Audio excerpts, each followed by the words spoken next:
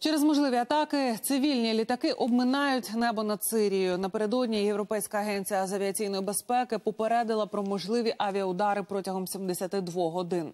Попередження мало рекомендаційний характер. Втім, чимало авіакомпаній вирішили не ризикувати.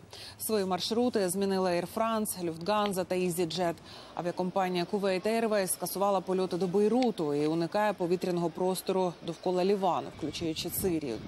А ліванський перевізник оголосив про перегляд частини свого графіка до вечора п'ятниці.